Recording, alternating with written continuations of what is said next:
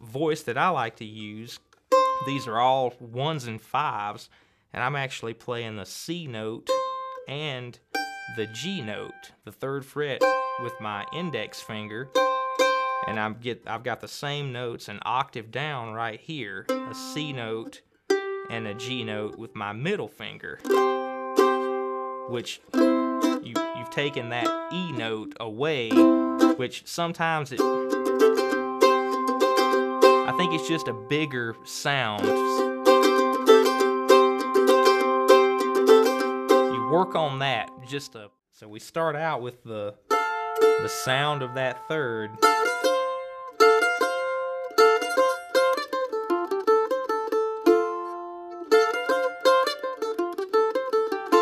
Back to still playing the third open with our A string and an F note.